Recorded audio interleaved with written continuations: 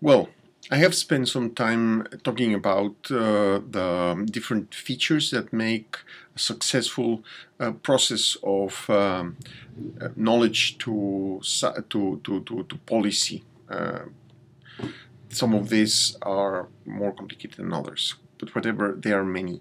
And I, I spend almost 20 minutes uh, talking about this. So you may be wondering, uh, this is far too complicated. That is far, this is too, too, too demanding. When I am going to have the time to do my real life work, when I am going to do my research or spend my time in the field or do whatever I do normally. I think this is a very valid uh, question.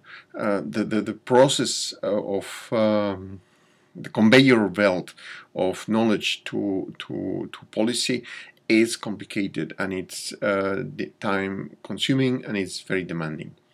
Is it possible for a single uh, researcher to do the entire thing?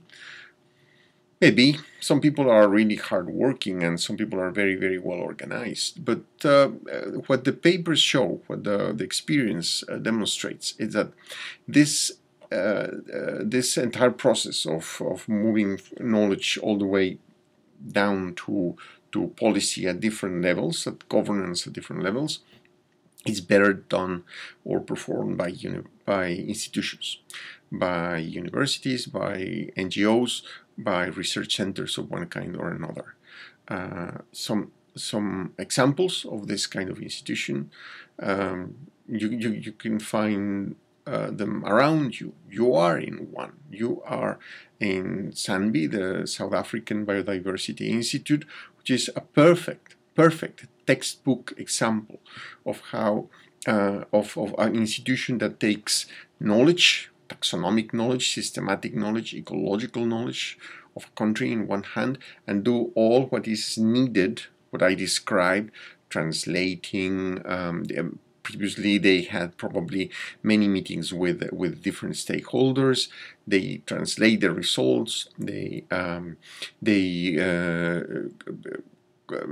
communicate what whatever they do in the right formats with very beautiful uh, um, images well done professionally done and they do the follow-up that kind of institution is called a bridging institution um, also uh, sometimes called called uh, a border institution they are institutions that sit in the um, border between science, the world of knowledge, and the world of policy with, with one leg on each, and they do the bridging.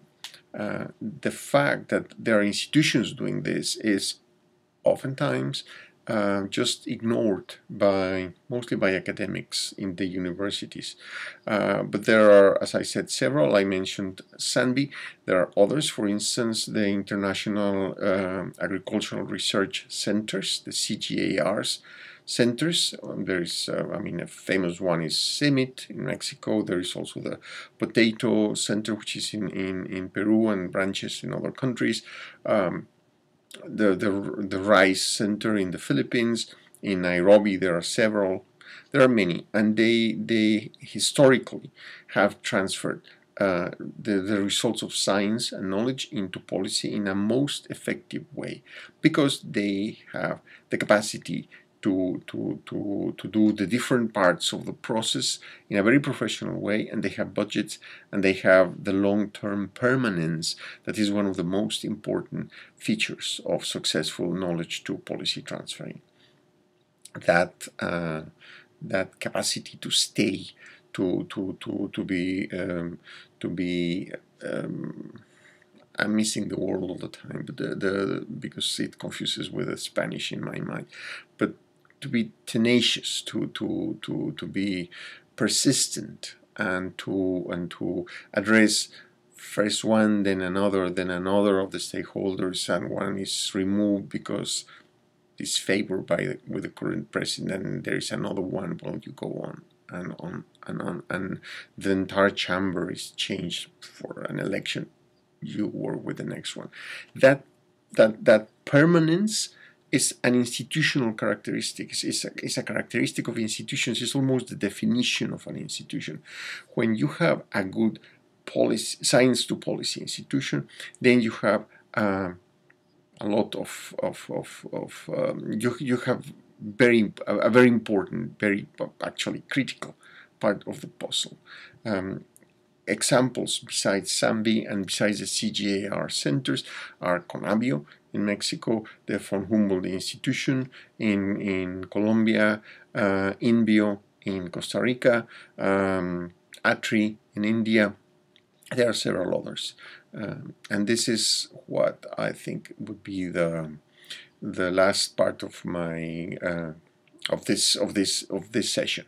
I want uh, to I will be presenting instances, specific instances of this process of, of, science, of science to policy in the next couple of lectures. But right now, I think I have spoken more than enough, uh, and I wish you a very good day.